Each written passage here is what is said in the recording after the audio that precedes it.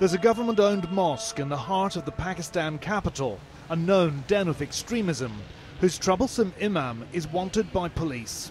The imam has called for the overthrow of the government and the establishment of an Islamic Sharia state in Pakistan. Burqa garbed female students in the madrasa attached to the mosque pledged allegiance to the self declared caliph of the Islamic State in a video. We pray for you every night here in Pakistan, they said.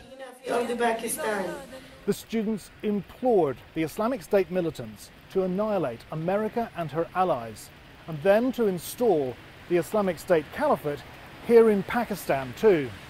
The authorities here took no action against them or him, and in more than a year since the warrant was issued, the authorities have failed to arrest the Imam of the Red Mosque here, Mullah Maulana Abdulaziz. Many here say that's because he's the spiritual leader of the Pakistan Taliban. Here's what happened last time they moved against Mullah Maulana. Nine years ago, in a week long siege of the mosque, around 100 people were killed. Maulana had long threatened vengeance. In their latest atrocity, a faction of the Pakistan Taliban attacked this university, killing more than 20 students and professors. The Pakistan Talibs are separate from their Afghan namesakes, but they too evolved from the Mujahideen, funded by the West to fight the jihad against the Soviet occupation of Afghanistan in the 80s. Now, like a jihadi Frankenstein, they've turned their wrath on Islamabad and turned Pakistan into a nexus of terror. Well, it's unfortunate in the sense that we are just next door to Afghanistan. And uh, we have a famous saying that uh, if Afghanistan have a flu, the sneezing starts here. And here, what do they want? Sharia? Well, this is what they say. Islamic law. This is what That's they it. say. This is what they say, but uh, I don't think uh, that is the real motive. The real motive, I think, is just to grab power. It's the ultimate nightmare. Nuclear armed Pakistan overrun by this lot. This is Umar Mansour, mastermind of the recent attack.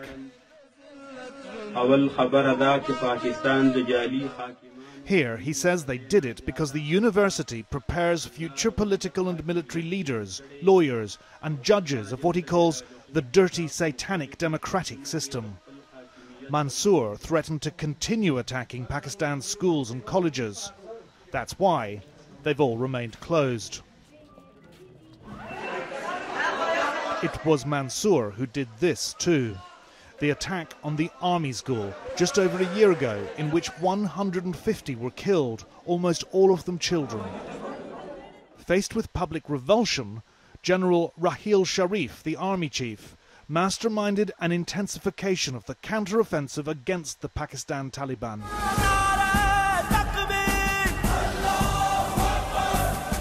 It's become the stuff of legend.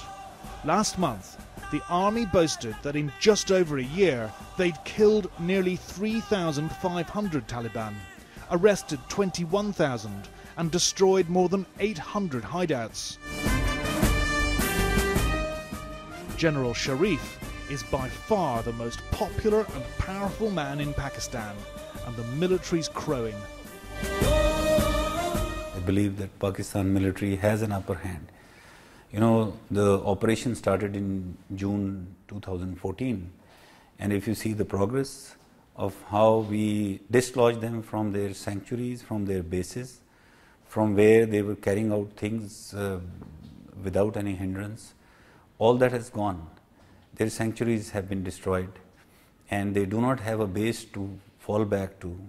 But the fighting displaced more than one million people. 500 soldiers were killed, 2,000 wounded. Journalists were kept out of the war zone. The moratorium on the death penalty was lifted, and military courts introduced. These four men were picked up the day after the most recent attack. They were paraded in manacles and Lieutenant General Asim Bajwa, a very senior commander, branded them terrorists. Do you believe that civil liberties in this country are being eroded in your hunt for the Taliban? Well, let me ask the same question to you. You know, what is your government doing in UK? You're going after terrorists and you're making sure that your people are safer. They can continue with the routine life. Do you ask your state that why are they going after terrorists? I mean, you have to go after a monster. So, what do you do? And I think state of Pakistan is taking care that this does not impinge on the civil liberties of people. No operation can be judged by the number of people that are killed and the number of people that are arrested.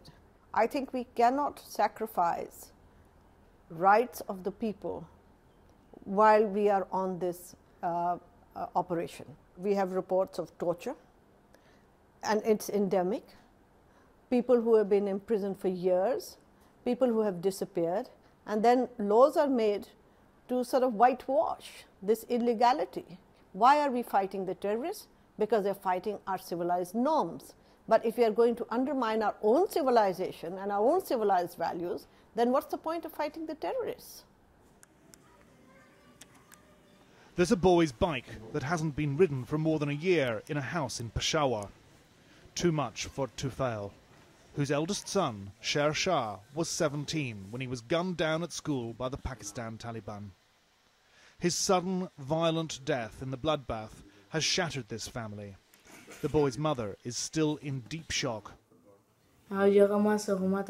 I promised my brother I'd become a doctor and that I would treat the poor free of charge. We were great friends. I miss him too much. I want to say to children, to students, that they should study and defeat terrorism through education and knowledge. I was out of town when I heard about the university attack. I was so disturbed I couldn't even drive. It felt like it was a repeat of the school attack. After that, we had hoped things would improve, but since the university attack, our fears have multiplied. They've started again, and we're worried.